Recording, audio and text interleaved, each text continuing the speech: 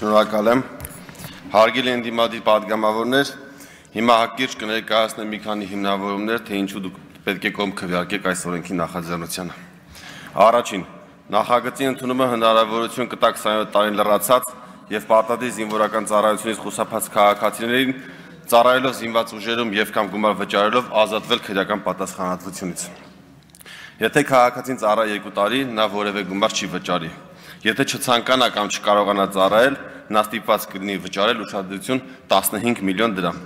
Ի տարբերություն Ռոբերտ Քոչարյանի նախագահության օրոք 2004 թվականին ընդունված եւ Սերժ Սարգսյանի նախագահության 10 տարիներին գործած այն օրենքի, երբ ծառայությունից խուսափած քաղաքացին վճարում էր ամեն բացակայած զորակոչի համար 100.000 դրամ ազատվելով պատասխանատվությունից։ Ձեր ժամանակ մեկ զորակոչի չներկայացած չծառայածը վճարում էր 100.000 դրամ իմ առաջարկված տարբերակում նա պետք է վճարի 15 միլիոն դրամ կամ 15 անգամ ավելի։ Երկրորդ հիմնավորումը. Այս նախագծով լուծվում է հաշվառման չկանգնած քաղաքացիներին ծառայության տանելու հարցը։ Ունենք բազմաթիվ քաղաքացիներ, ովքեր հաշվառման չեն կանգնում մինչև իրենց 27 տարին լրանալը, հետևաբար չեն ծառայում։ Հետաքրքիր զուգադիպությամբ նրանք բոլորը ներկայանում եւ հաշվառման են վերցվում 27 տարին լրանալուց հետո այսպիսով ազատվում ծառայելու պարտավորությունից։ Նախագծի ընդունման դեպքում նրանք նույնպես պարտավոր կլինեն ծառայել, եթե անգամ հաշվառման վերցվեն 27 տարին լեռնալուց հետո։ Այս փոփոխությունը նույնպես կհամբերի զինված ուժերի շարքերը եւ լրացուցիչ ֆինանսական մուտքեր կապահովի պետական բյուջե։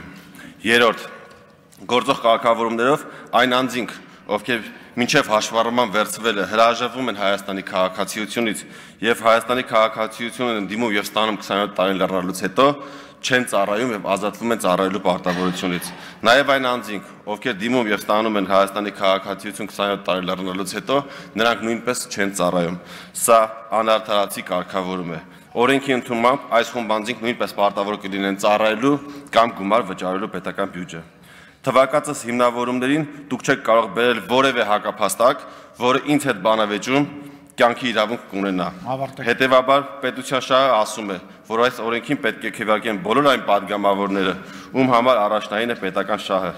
Այսպիսով, սիրում ես հայրենիքդ, կողմ քվեարկիր անգամ իշխանական կամ ընդդիմադիր падգամավորի այն նախաձեռնությունը, որը իշախ քո պետությանը։ Շնորհակալություն։